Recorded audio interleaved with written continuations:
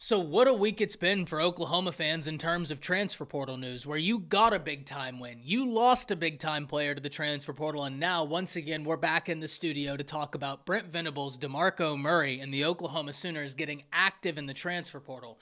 This time for a very talented running back who just played for UT Martin, Sam Franklin. Today, we need to talk about why this is such a big addition, but we also need to talk about something that Sam Franklin could provide this offense that may be underrated, but I find to be an incredibly compelling factor. Before we dive into all of this, you all know the drill. I have got to hear from you. Hop down to the comments, give me a Y for yes or an N for no. Are you excited that Sam Franklin commits to Oklahoma? And let me know what you're thinking.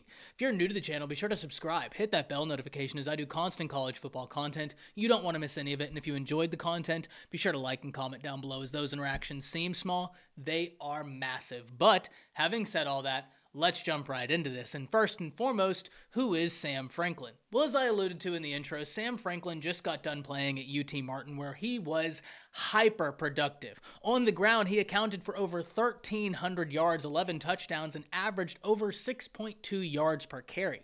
He stands 5 foot 10 and 190 pounds. But he wasn't just a running back that got active on the ground. This is also a guy that got active in the passing game, where he had a touchdown and over 100 yards there as well. And that's something we talk about all the time here on the channel if you can get a running back that just has that level of versatility, I think you absolutely do it because anything you can provide the defense to think about is a win for the offense. What do I mean when I say that? Well, if this is a guy that you can have shoot out on a route, get him the ball quickly, the next time he may shoot out, the defense may drop to account for him and you can hit someone deep. We talk about this all the time, using players as chess pieces to make the defense think something's going to happen and then take advantage of that assumption.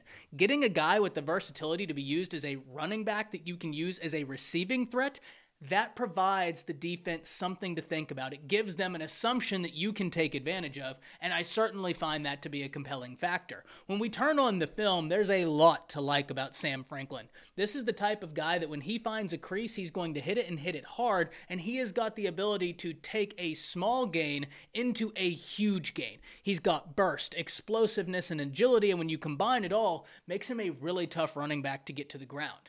But what was I alluding to in the intro when I said he could provide something that may be overlooked, but I would find to be incredibly compelling? What was it? Pass blocking. And I know that might not sound like it's going to be a huge difference, but let me explain. Though pass blocking isn't going to be on any highlight reels, it is going to be incredibly necessary for the Oklahoma Sooners. Oklahoma's in a position where they're going to be starting a brand new quarterback. They're going to be replacing their entire offensive line. So if you can get someone in that backfield that understands defenses and understands where pressure may be coming from, that could be huge for Jackson Arnold and the Oklahoma Sooners. You need someone in that backfield with the experience to help out your young offensive line and your young quarterback because Jackson Arnold has all the tools. He just doesn't have the experience, and he's going to have to play a lot of games to get that experience.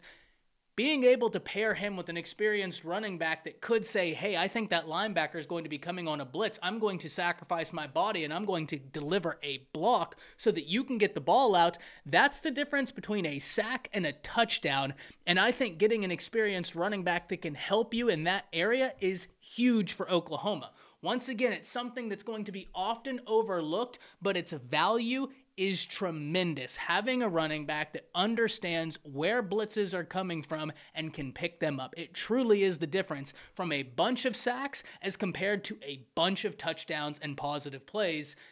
I love this addition for Oklahoma. Yes, you like the running back room you currently have, but getting a guy with that experience, I think, is big because right now on offense, on the offensive line, you're lacking that experience. You have very talented guys that Bill Bedenbaugh recruited that I'm very excited to see how they do once they start gelling together but they just don't have in game experience. Remember, talent is not the question right now for Oklahoma, it's simply experience. So, getting a guy with that experience to help everybody along, I find that to be a compelling factor. Hop down to the comments, let me know what you think about Sam Franklin in this edition for the Oklahoma Sooners. That's it.